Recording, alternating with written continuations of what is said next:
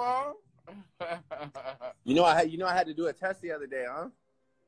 what the uh, Corona? Yeah, I had to do a test, uh, but it came back negative though. But yo, that Oh, test is, that test is uncomfortable though. They put that Q-tip all the way, all the way in, all the way Oh. inside your thoughts and shit. They put that I shit. saw that. Yeah. yeah.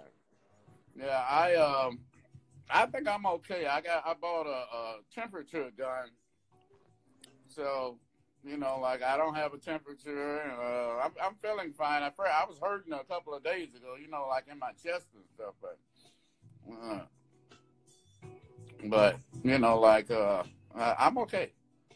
I got I I got azithromycin and I was gonna say you drink you drink too much Hennessy to get Corona anyway. I don't drink no damn Hennessy.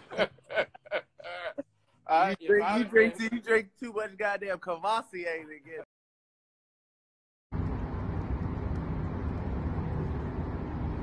Alright, call back. yeah, it's awful. I'm sorry.